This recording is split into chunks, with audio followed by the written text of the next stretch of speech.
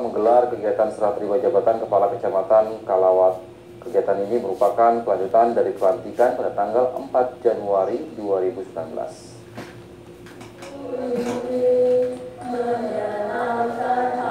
Serah terima jabatan Kepala Kecamatan Kalawat Kabupaten Minahasa Utara dilakukan oleh Camat Lama Herman Mengko kepada Camat yang baru Johan Mewengkang. Dalam kegiatan serah terima jabatan ini dilakukan penandatanganan berita acara serta penyerahan kunci kantor dan kunci kendaraan dinas. Kegiatan sertijab ini dipimpin langsung oleh asisten satu pemerintah daerah Kabupaten Minahasa Utara, Rivino Nunung Kambing. Dalam sambutannya, asisten satu Pemkap Minut, Rivino Nunung Kambing mengatakan tugas dan tanggung jawab jabatan yang dipercayakan akan dipikulnya, serta belajar mencintai pekerjaan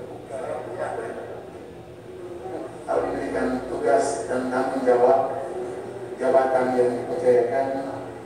Semestinya tadi belajarlah tetap orang mencintai pekerjaan ya. cintai pekerjaan yang tulus. Mencintai keluarga juga dan juga mencintai dirinya. Sementara Kepala Kecamatan Kalawatin Baru Johan Mewenggang mengatakan pihaknya akan selalu bersama-sama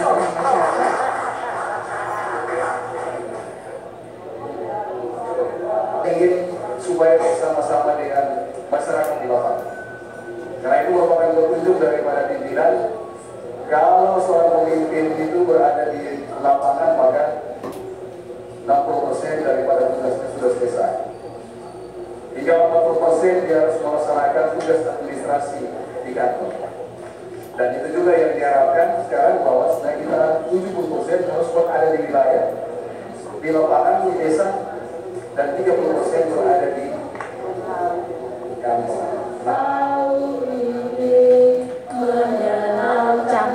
menambahkan untuk program ke depan akan menangani keluhan masyarakat terkait kebersihan lingkungan, terutama masalah sampah.